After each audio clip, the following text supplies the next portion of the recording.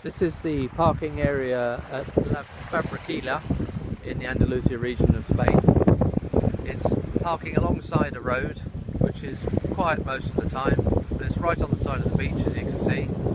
Quite popular, nice scenery and as I say right on the beach. The parking's free, there's no services but it's a nice stopover. This and all the others that we list are on the Club Motorhome website at www.clubmotorhome.co.uk. Cheers for now.